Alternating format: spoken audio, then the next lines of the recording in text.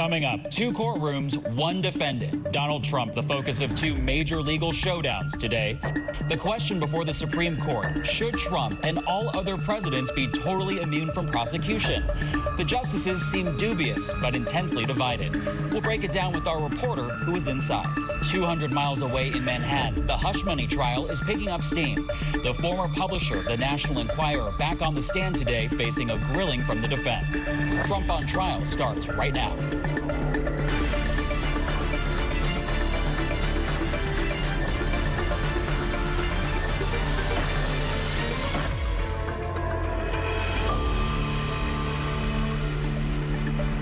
Good evening, thanks so much for joining us. I'm Chris Wynn in Washington.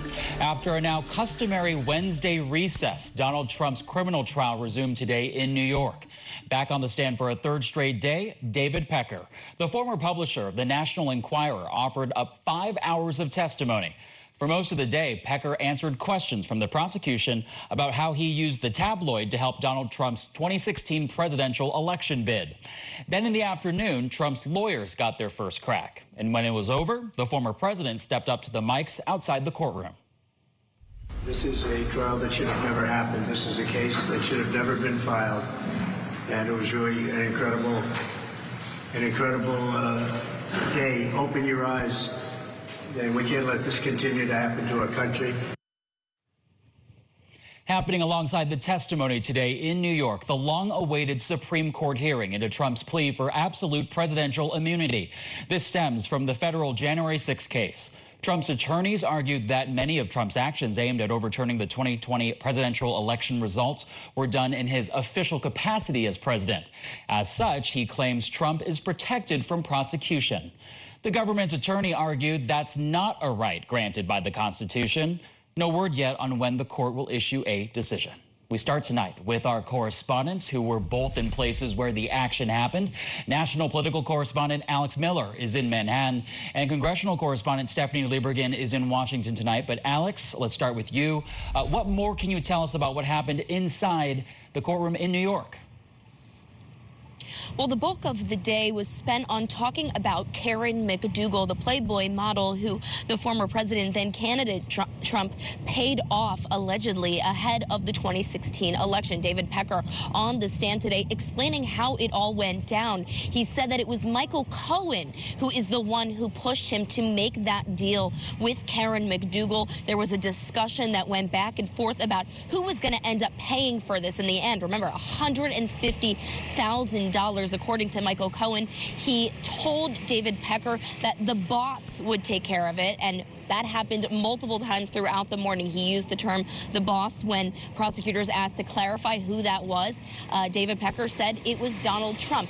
But because Trump took so long, according to David Pecker, to reimburse him for those payments to Karen McDougal, it made Pecker decide not to pick up the Stormy Daniels tab. And so Trump had to go elsewhere and figure out a different way to handle that situation. But this isn't the first time that David David Pecker has engaged in the catch and kill scheme, so to say, even though he said he didn't know that term until this uh, investigation first began. He did say that he engaged in checkbook journalism, meaning that he paid for stories whether or not he was going to use them. He used them for different purposes, but he did business with Donald Trump for decades. They had a relationship both inside and outside of AMI, the uh, publishing company that David Pecker headed up.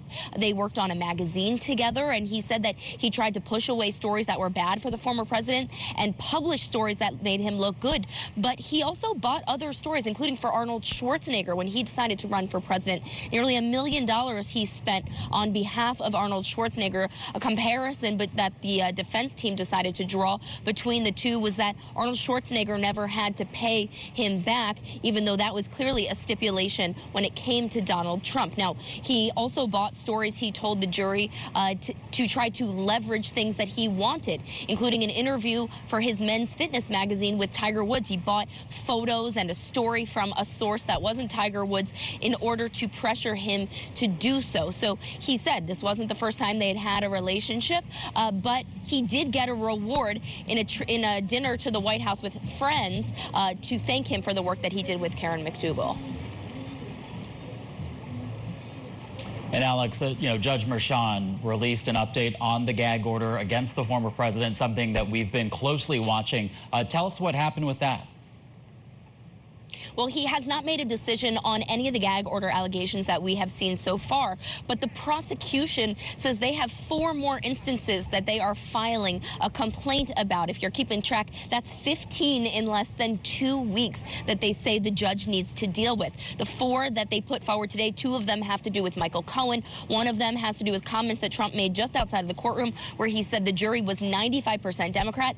And one from this morning when he made a campaign stop before court where he he said David Pecker was a nice guy. So uh, there's going to be a hearing on the, on those allegations next Wednesday at 2:15 p.m. And as far as the other gag order allegations that we've seen come from the prosecution, the decision from the judge on those could come at any point.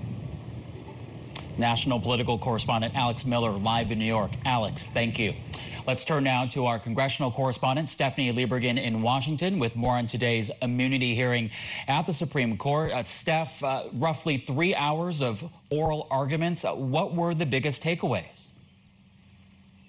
One of the big things that the justices talked about over and over again during the arguments today was the issue of an official act, uh, official presidential act versus a personal or private act. There was some agreement that official presidential acts might be due some type of criminal immunity, but there were some questions about what's the motivation behind those official acts. When Justice noting that almost anything a first-term president does could be construed as a personal or private motivation aimed at getting reelected. But that question, official act, personal private act went hand in hand with the concept of absolute criminal immunity that Trump's defense team was really pushing for.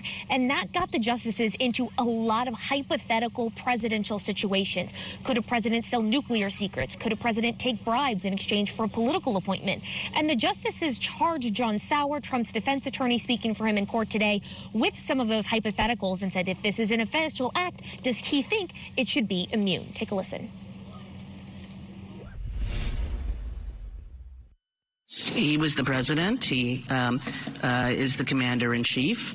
Um, he talks to his generals all the time, and he told the generals, "I don't feel like leaving office. I want to stage a coup." Is is is that immune? If, if, it's an official act, there needs to be impeachment and conviction beforehand because the framers viewed the that that kind of. If it's an official risk. act, is it an official act? If it's an official act, it's impeachment. Is it an official act? On on the way you've described that hypothetical, it could well be. Trump and his defense team have argued repeatedly that they think there will be a chilling effect on the presidency if the concept of absolute criminal immunity is not upheld by the Supreme Court.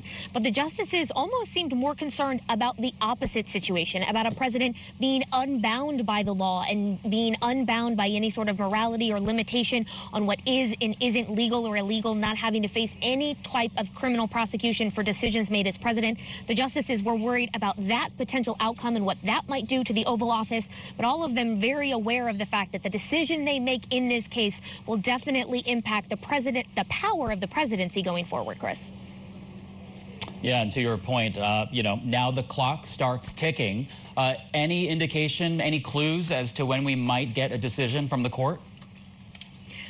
That's the magic question we all wish we had the answer to, but in typical Supreme Court fashion, the court does not announce any um, information about the upcoming opinions before they're released. So we'll get lots of opinion days between now and the end of the term in uh, late June, maybe in early July if things go a little late. The opinion could come down really any time in the next two months, but I would expect probably not in the next few weeks. I would expect the justices need to take some time to consider the arguments they heard, discuss amongst each other, vote, write their opinions and their dissents. So probably a few weeks out, but really the Supreme Court decision can come down any time between now and the end of June.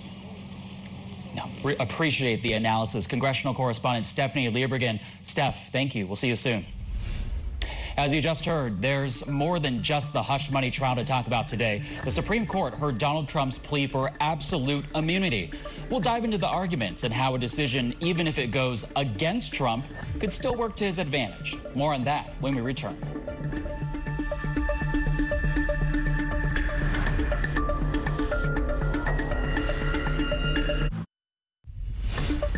Presidential immunity, very powerful presidential immunity is imperative, or you practically won't have a country anymore.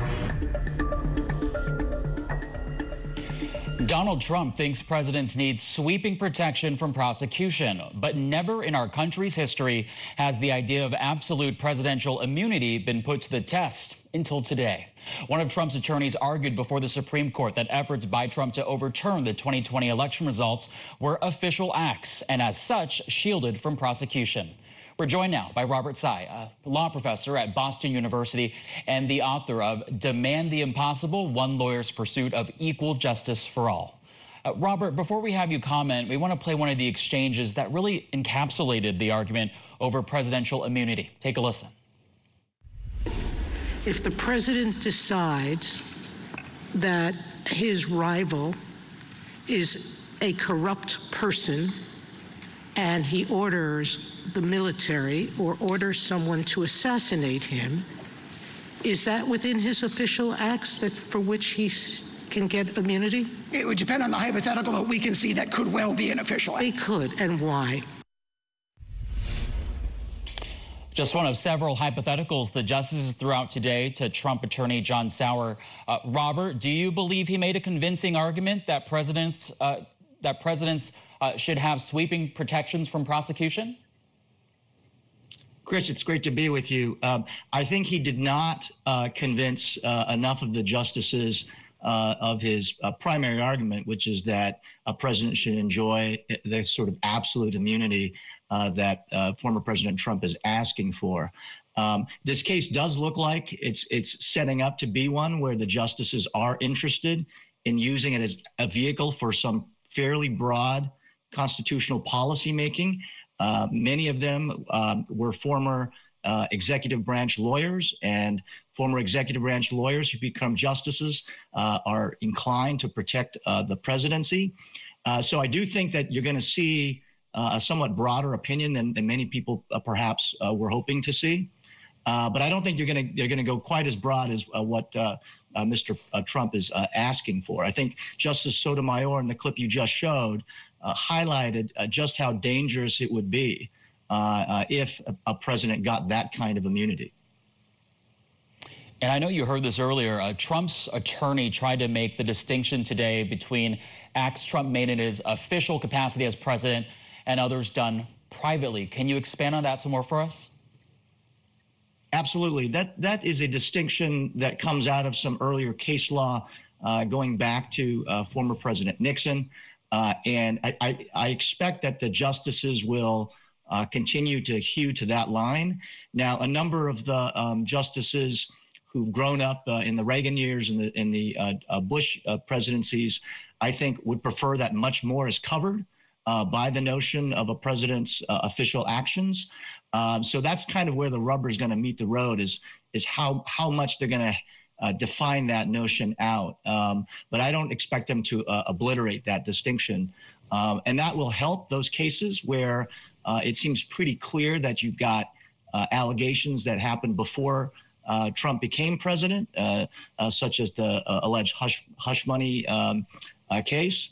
Um, but uh, for for this one, uh, I think we're going to have a little bit of a tricky scenario uh, with the justices trying to figure out how much of uh, President Trump's actions in trying to stay uh, in office could be described as official behavior and how much really is beyond the scope of his official duties. And how about the government's attorney? He, he essentially argued that the Constitution doesn't give presidents a get out of jail free card. Uh, in fact, he made the case that the founders didn't want another king. Uh, how persuasive was he? I think in general, uh, pretty persuasive. He he had a little bit of an uphill battle trying to uh, defend the, the, the lower court, the D.C. Circuit's decision, which was pretty um, dismissive of of Mr. Trump's um, uh, immunity uh, decision. And uh, you know, even Chief Justice Roberts seemed um, to dislike you know the opinion below as not being protective enough of presidents, putting aside what uh, Mr. Trump is alleged to have done here. Uh, a lot of the justices didn't really want to get into the facts of this particular case. So uh, wherever they draw the line, uh, I will be surprised if they protect all of uh, his actions. Uh, but um, they, they, clearly want to think about future presidents. and several of the justices mentioned that they're, they're really worried about um, uh, prosecutors, uh, independent counsels uh, chasing presidents after they're out of office uh, for rather small things. Um, a lot of the hypotheticals involve these kinds of uh, scenarios. Uh, so uh, I think they're very much setting up to try to uh, be a little bit more protective of a president, but not as far as his own lawyers asking for. Robert Tsai, law professor at Boston University. Robert, thanks so much for the insight and conversation. All right, Trump on trial returns after this quick commercial break. Keep it here. You're watching Scripps News. Today was uh, breathtaking. In this room, you saw what went on. It was breathtaking and uh, amazing testimony. Donald Trump left the courtroom today seemingly pleased about his day in court. His defense team opened its cross examination of one time National Enquirer executive David Pecker. But before that, the prosecution got him to talk more about catch and kill, his effort to buy and bury stories that might have hurt Trump's 2020 reelection bid. Neama Rahmani is a former federal prosecutor and the president of West Coast Trial Lawyers. He joins us now. Uh, Neama, great to see you on the program. Uh, what stood out to you most from today's hearing? Well, today's hearing in the New York hush money case, of course, was David Pecker's cross examination. But obviously, I think all eyes were on the U.S. Supreme Court and the oral arguments. And it was clear there, I think the justices were going to reject Trump's absolute immunity argument. It was overreaching on the part of his lawyers, frankly. And I think they lost credibility, just like they lost credibility in the trial court when they argued just two days ago that Trump didn't violate the gag order. So I think it's clear that the justices are going to send the case back down to the lower courts to determine whether Trump's conduct related to the Capitol riots and the events leading up to January 6th and the fake elector scheme were they official acts, which would be immune, or personal ones, which would be not. And going back to New York, during cross examination, the defense team brought up the fact that Michael Cohen wasn't working as part of the Trump campaign. Uh, Trump defense attorney Emil Bove asked David Pecker, quote, uh, Cohen was always clear with you that he was not working with the campaign. And David Pecker responded, yes. So, Neama, that's central to the defense's case, isn't it, that Cohen was working on his own? Well, it's central for two reasons. One, it distances Trump from the conspiracy itself. His arguing, of course, he had nothing to do with any of this. And this was Cohen. And to the extent that they're false business records, that was something that his accountant did. And that it was booked as a legal expense. And of course, it's important that Cohen wasn't related to the campaign because we know that under New York law, false business records, they're only a misdemeanor unless they can be proven to be in furtherance of or to cover up another crime. And the state is arguing that this was an unlawful campaign finance violation or an attempt to mislead the voters during the 2016 election. So if Cohen had nothing to do with the campaign, then maybe even if the prosecution is successful, these are just misdemeanors, which would be a slap on the wrist. Let's talk about the gag order. Uh, Judge Merchan gave us an update today uh, saying he plans to consider four new alleged violations uh, brought to his attention by the prosecution. Uh, what more can you share about that? Chris, I'm smiling because Trump has seemingly violated the gag order at every possible turn. And whether it's four or 40, the question is, isn't really did Trump violate the order, but what is Judge Juan Merchan actually going to do about it? Is he going to actually put some teeth into that order, or are we going to talk about nominal fines like Judge Engoron, the judge in the New York civil fraud case? He fined Trump five, ten thousand dollars. Well, that's not going to change Donald Trump's behavior. That's walking around money for him. So, is there going to be a more serious sanctions, or we're we talking about these fines that really won't amount to much in this case? Well, yeah, let's expand on that a little more. you know, what other options can the judge take at this point? Well, the most extreme option would be holding Donald Trump in criminal contempt and jailing him. Now, I think that's very unlikely. I don't think anyone has the stomach to really take the unprecedented step of jailing a former president. There would be political unrest, maybe even civil riots. Now, short of that, what can the judge do? Maybe give uh, adverse jury instructions or do other things related to the case itself that make it more difficult for Trump to win and just instruct the jurors that Trump is in violation of a court order. That type of adverse instruction would be damaging to the defense. Yeah, the uh, $1,000 fine per violation probably isn't going to uh, too much, right? Um, hey, before you go, uh, what should we be looking out for when court uh, tomorrow uh, resumes? the cross examination of the witnesses is going to be key. And obviously, we know we're not there yet, but Michael Cohen is a key witness for the state. But obviously, he's a convicted felon and an admitted liar. Stormy Daniels, of course, uh, has previously denied having the affair. So, you know, David Pecker is the state's first witness. And personally, you're talking about someone who's an alleged co-conspirator, at least according to the prosecution's opening statement, and testifying under a grant of immunity. So I expect the cross-examination to continue to be more aggressive and for the defense to argue that this is someone who's lying to save himself or to sell more magazines. All right, Neama Rahmani, former federal prosecutor. Uh, Neama, thank you for your time tonight. We do appreciate it. All right, that'll do it for us tonight. Thanks so much for watching Trump on Trial. I'm Chris Wynn.